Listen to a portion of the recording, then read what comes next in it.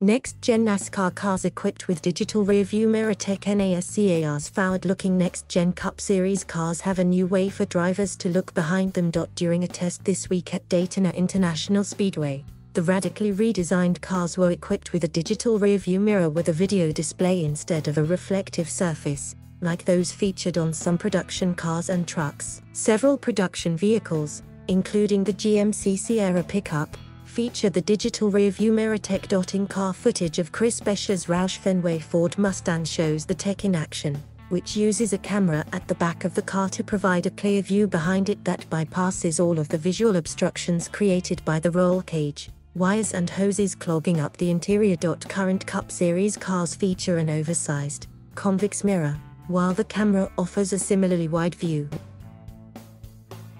Buescher called the display neat.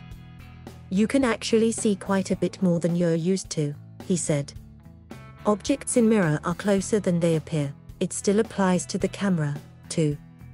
Buescher's car featured the new MirrorTech. Earlier this year, NASCAR had trialed a display mounted to the center console, which is the layout that some sports racing cars use. The redesigned cars are a break from tradition and feature an independent rear suspension, 5-speed sequential manual transmission and low-profile tires on 18-inch wheels, among other updates.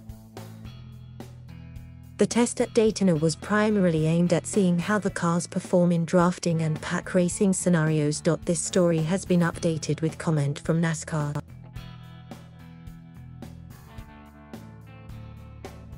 Thank you for watching.